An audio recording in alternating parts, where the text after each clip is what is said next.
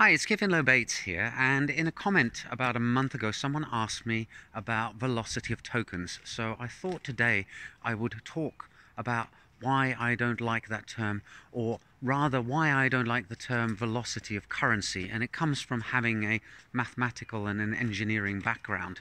So in economics, the concept of velocity of money is the idea that you can put a number or a measure on how much a particular currency is being used economically.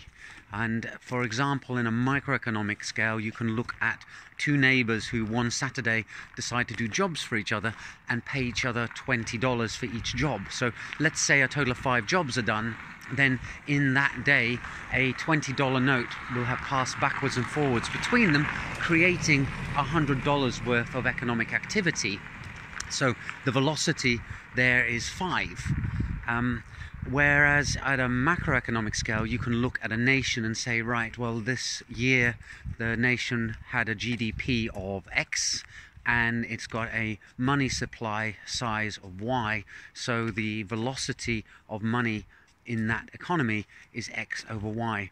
And this is where my problem with the term velocity arises, because in physics, velocity is a vector. It has speed and it has a direction. Whereas in economics, when they use the term velocity, you're looking at a currency unit being divided by a currency unit uh, times a time period. So the currency units cancel out and you're left with 1 over time, which is frequency. Now, velocity in physics is definitely not frequency. And the second problem I have is that when you're talking about velocity in physics, you're talking about something that has that velocity. Um, usually it has mass as well, unless we're talking about a photon. But uh, in economics, uh, the money isn't moving in any particular direction, and it's a bit of a kind of mishmash network of stuff that's going on. And um, if we sort of look at things like Brownian motion, if you've got a healthy economy, money is moving around between lots and lots of different parties, and you can measure a velocity. Now, you could have a similar system that has the same money velocity, but all the transactions are going to one person. And um, there's no capture of that sense that these two kinds of um, economic systems are very, very different, yet they have the same value for the velocity of money. Um, so, uh, this is the problem that I have with it really is that it uh, the analogy isn't good I guess is what it boils down to.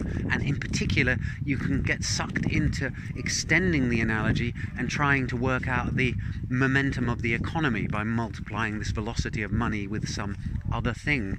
Um, but it's just not going to work out because as I said the initial concept of velocity is wrongly named so um, that doesn't really get you anywhere, but I'm sorry, that's uh, economics for you. Hope you found this entertaining and see you in the next video soon.